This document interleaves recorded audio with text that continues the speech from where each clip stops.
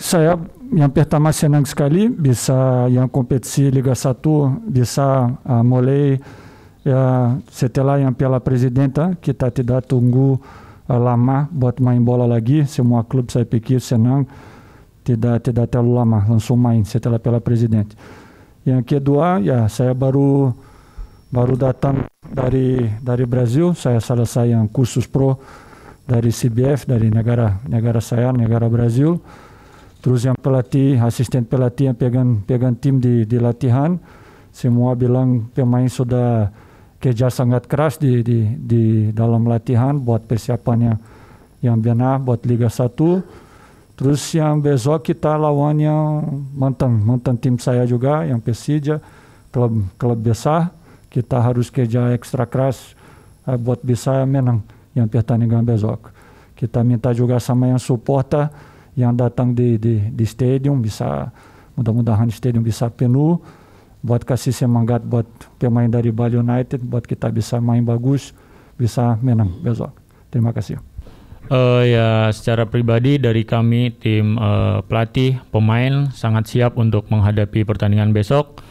Uh, yang penting kita menjalankan instruksi dari pelatih dan kita kerja keras, fokus selama 90 menit Uh, semoga besok uh, hari yang baik buat kita, mendapat hasil yang baik yaitu tiga poin. Ya kita harus uh, kerja keras di dalam latihan, di setiap latihan kita harus punya punya konsentrasi, punya punya fokus, terus harus kerja juga ekstra keras di dalam uh, setiap pertandingan.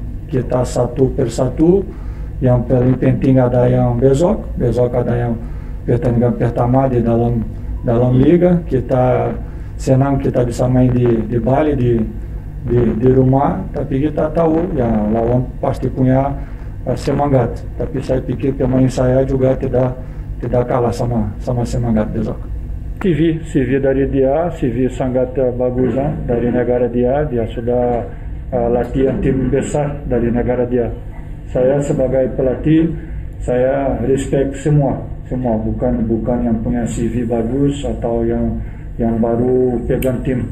Saya respect semua. Terus ya saya harus sangat respect sama yang mentok mentok klub saya. Yang besok saya mau saya sudah kerja dua tahun di di Persija waktu itu kita sangat senang kerja di, di, di Jakarta sana. Kita juga bisa punya prestasi di sana. Pasti ini kita dari hidup saya saya tidak tidak lupa. Saya harus respect sama mereka. Tapi situasi profesional saya sekarang di Bali ini yang Bali yang kasih kontrak profesional buat saya besok saya harus kerja keras buat bisa ya menangnya pertandingan Iya mungkin bagi saya besok bakal pertandingan bakal seru karena mungkin uh, di sana juga dihuni sama pemain-pemain uh, dari Eropa. Yang penting dari Bali sendiri kita tetap fokus, kita tetap kerja uh, supaya kita bisa uh, menghalau uh, serangan-serangan dari mereka. Akhir ya, baik terima kasih Coach Teko, terima kasih Bang Jajang, sukses untuk pertandingan pertama besok menghadapi Persija. Selamat siang. Terima kasih, Terima kasih. Terima kasih.